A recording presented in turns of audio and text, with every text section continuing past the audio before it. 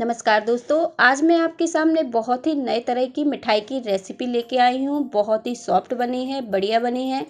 ये मुँह में घुल जाने वाली मिठाई है। इसे मैंने सिर्फ़ तीन चीज़ों से बनाया है और आप इस मिठाई को स्टोर भी कर सकते हैं।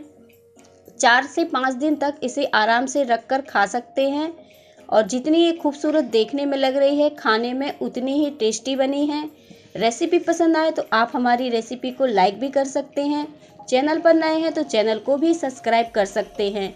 तो चलिए इन तीन चीज़ों से बनी मिठाई को हम बनाना शुरू करते हैं और देखते हैं किन किन सामान की हमें ज़रूरत पड़ेगी इस मिठाई को बनाने के लिए। अब मैंने यहाँ पे आधे कप चावल लिया है और तीन चम्मच उर्द की दाल ली है, जिसे मैंने रात को पानी में भिगो दिया था और ये अच्छे से फूल गई है।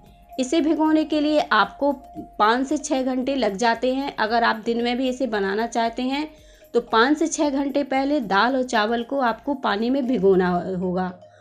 और ये दाल भी देखें, अच्छे से फूल गई है, इस तरह से हम तोड़ रहे हैं तो ये टूट रही है।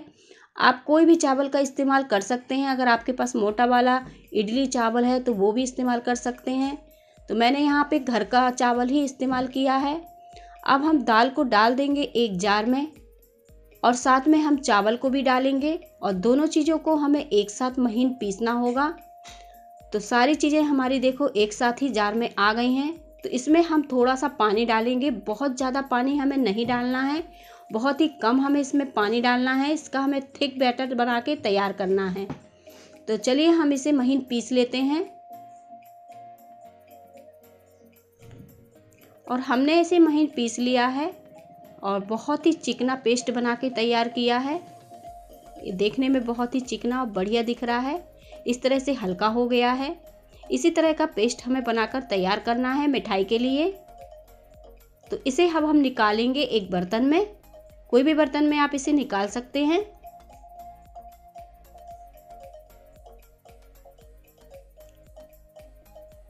इसे निकालने के बाद हम इसको साइड रख देंगे और इसके लिए चाशनी बनाएँगे। अब मैंने यहाँ पे एक पैन ले लिया है चाशनी बनाने के लिए। कोई भी बर्तन का इस्तेमाल कर सकते हैं आप। और एक कप हमने यहाँ पे चीनी ले ली है। और जितनी हमने चीनी ली थी, उतना ही हमने इसमें पानी डाला है। आँच को हम मीडियम ही रखेंगे और चाशनी को बना लेंगे। और इसी तरह हम लगातार इसे चलाते रहेंगे ताकि चाशनी हमारी अच्छे से बन जाए और चीनी भी घुल जाए।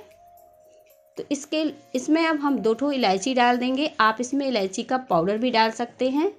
तो मैंने इस तरह से इलायची को खोलकर इसमें डाल दिया है। और दो से तीन मिनट के लिए हम इसे और पकाएँगे। ये हल्की सी गाढ़ी दिखने लगे। या फिर कहें ये चिपचिपी चाशनी बन जाए। इसका हमें तार नहीं बनाना है। इसकी हमें चिपचिपी चाशनी बनानी है। तो इस तरह से उंगलियों पर हम चेक भी कर सकते हैं। अगर हम तार बना देंगे तो ये जम जाएगी। तो हमें इसका ज़्यादा तार नहीं बनाना, बस चिपचिपी चाशनी चाहिए हमें। ये देखने में भी कलर चेंज हो जाता है चाशनी का। इस तरह से दिखने लगती है। तो चाशनी को अब हम इतना ही पकाएँगे, गैस को हम बंद कर देंगे और इसे साइड रखेंगे। और जो बैटर हमारा रखा है, वो भी अच्छे से फूल गया है। तो हमने यहाँ पे ऑरेंज फ्रूट कलर लिया है, एक पिंच, और इसे डाल दिया है। और इसे अच्छे से हमें मिक्स कर लेना है। आप कोई भी कलर का इस्तेमाल कर सकते हैं। लाल, हरा ऑरेंज जो भी कलर आपको पसंद हो, या फिर आप इसे स्किप भी कर सकते हैं, बिना कलर के भी इसे बना सकते हैं। आप इसे वाइट कलर का भी बना सकते हैं, बिना कलर के, पर कलर से इसकी सुंदरता और बढ़ जाती है, इसलिए मैंने इसमें थोड़ा सा कलर मिला दिया है। अब मैंने यहाँ पे बेकिंग सोडा लिया है, एक चौथाई चम्मच। और इसे भी डाल दिया है। इसे हम अच्छे से मिला लेंगे। इसे मिलाने के बाद हम तुरंत मिठाई बनाएँगे। इसे ज़्यादा देर फिर इस तरह से छोड़ेंगे नहीं। बस इसे मिलाने के बाद हम मिठाई बनाना शुरू कर देंगे। और देखें कितना हल्का ये बैटर दिख रहा है। जितना हल्का दिखेगा मिठाई उतनी ही बढ़िया बनेगी। अब तेल हमारा यहाँ पे गर्म हो गया है तो आँच को हम धीमे पे रखेंगे। और इस तरह से आप चम्मच से भी इसे बना सकते हैं। या फिर हाथ से जैसे पकौड़ियाँ डालते हैं, ठीक उसी तरह से हम इस बैटर को डालेंगे। तो इस तरह से हाथ से भी आप इसे बना सकते हैं या फिर चम्मच से जैसे आपको सुविधा हो, उस हिसाब से आप इस मिठाई को बना सकते हो। और थोड़ी देर बाद देखना ये फूल जाएँगी, अपने आप ही ये पलटने लगेंगी। और आँच को धीमा करके ही हमें इस मिठाई को डालेंगे, ज़्यादा टाइम नहीं लगेगा सिकने में। और देखें जैसे जैसे हम डालते जा रहे हैं, ये पलटने लगी हैं। इस तरह से फूल कर ऊपर आने लगी हैं। कितनी हल्की बनी है। आप देख रहे होंगे कितनी बढ़िया बनकर तैयार हो रही हैं। आप इस मिठाई को थोड़ा सा छोटी बना सकते हैं, थोड़ा सा बड़ी बना सकते हैं। जैसी आपको पसंद हो वैसी बना सकते हैं। पर मैंने इसको इस तरह से मीडियम साइज़ का दिया है। अब हम इसे इसी तरह से मीडियम आँच में तल लेंगे। एक अच्छा सा कलर आने तक। तीन से चार मिनट लगेंगे हमें एक अच्छा सा कलर आने तक।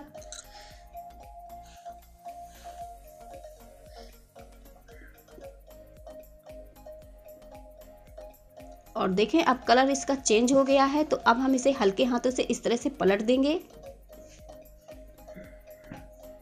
वैसे तो ये अपने आप ही हल्की सी पलट जाती है, पर तो अगर कोई दिक्कत हो तो इसे छोटी चम्मच की सहायता से आप पलट सकते हैं।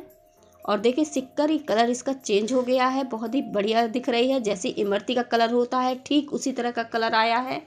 अब हम इसे निकाल लेते हैं, और जैसे ही हम इसे निकालेंगे, ये हल्की गर्म चाशनी में हम इसे डाल देंगे तुरंत। ताकि ये मिठाई अच्छे से फूल जाए। बहुत ज़्यादा समय नहीं लगे इसे फूलने में।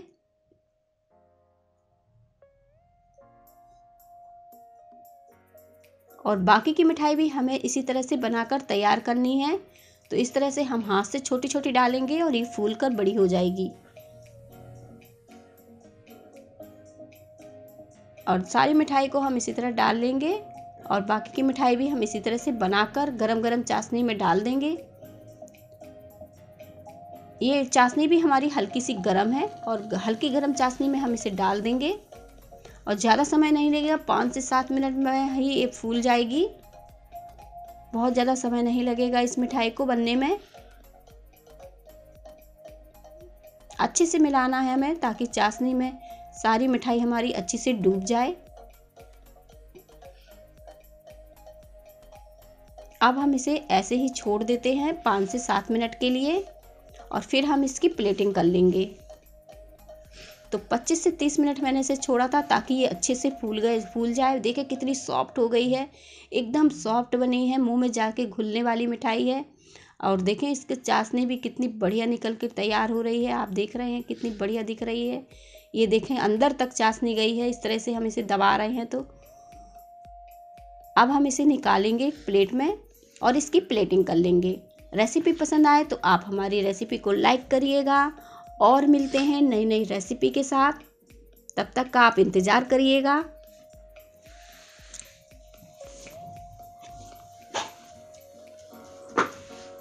Mm.